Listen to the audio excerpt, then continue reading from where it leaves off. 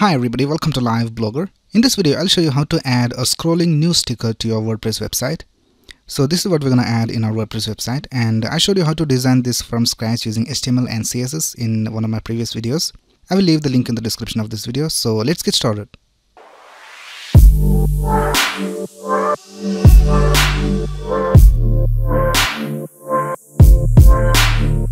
Right, so here is my WordPress website and uh, this is the website where we're going to add the news ticker.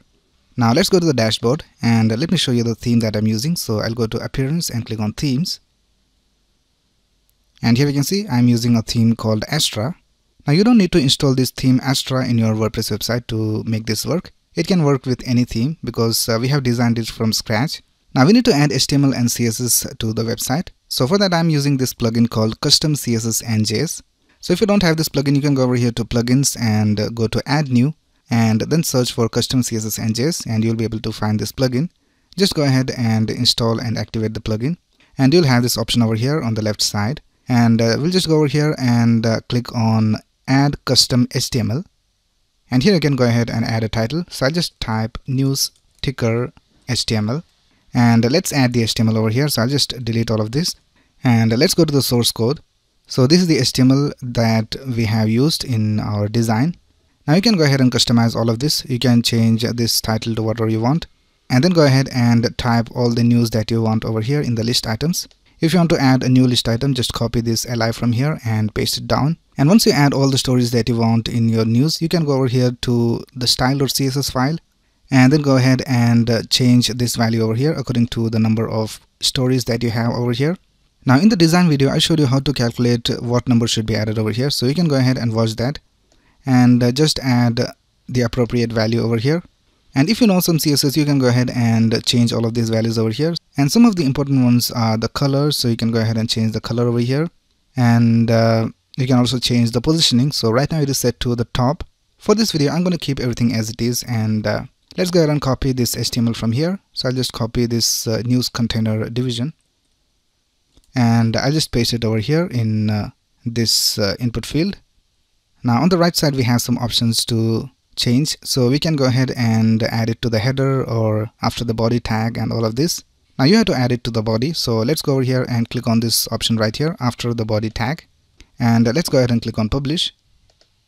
Alright the HTML has been added. Now let's go ahead and add the CSS. So let's go over here to add custom CSS and here I'll just add a title news ticker CSS and let's copy all the CSS from here and paste it right here. And we will leave all these settings as it is and let's click on publish. Right now let's go back to our website and let's see whether it works. So let's refresh this page. Now here we can see that the news ticker is not being displayed. So let's right click over here and click on inspect. And let's check whether we have the news container division. So here you can see we have the news container division and it is right here at the top but it is not being visible. So the problem is that uh, it doesn't have the correct z index. So the z index is basically how the elements of your website are structured. So if you have a high z index it will be displayed above all the other elements.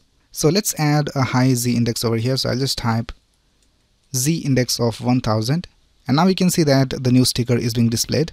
So let's go ahead and add the z index to our css so let's go back to our dashboard and here in the CSS let's add a z index. And here I'll just type z index and I will set it to 1000 and uh, let's update. Let's go back to our website and refresh this page. And now we can see that our news container is being displayed over here. Now you're seeing this bar over here because uh, we have logged into our WordPress website. So let's open this in an incognito window. And now here we can see that the news container is being displayed but we have to move all the other elements down a little bit so let's right click over here and click on inspect. And uh, let's select the body. So this is the body tag. And uh, let's add some margin top. So I'll just set a margin top of 36 pixels. Or maybe let's increase it a little bit. So I think 48 pixels looks nice. So let's go ahead and add margin top of 48 pixels to the body. So let's go to the CSS and uh, here I'll just type body and I will set a margin top of 48 pixels. And let's update it. Let's go back to our website and refresh this.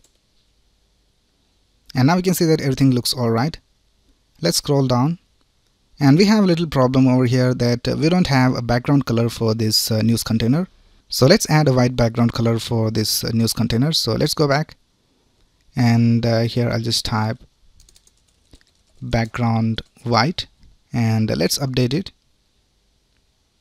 Let's go back to our website and refresh this. And now we can see that everything looks alright we don't have any problems. So this is basically how you add a scrolling news ticker to your WordPress website.